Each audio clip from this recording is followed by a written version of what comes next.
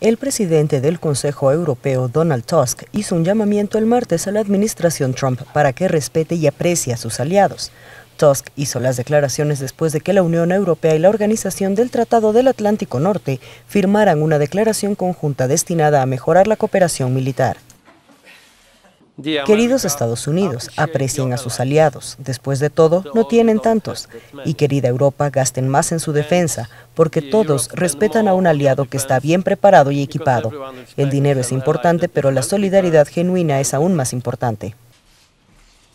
Tusk agregó que espera que el presidente Trump lo tenga en cuenta cuando se reúnan en la próxima cumbre de la OTAN destacan la declaración de la Unión Europea y la OTAN sobre movilidad militar, la lucha contra el terrorismo, el fortalecimiento de la resiliencia ante los riesgos químicos, biológicos, radiológicos y nucleares y la promoción del programa de paz y seguridad para la mujer.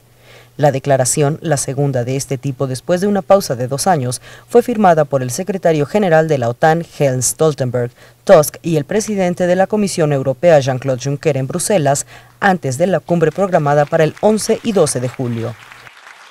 Con información de la oficina en Bruselas, Bélgica, Noticias Xinhua.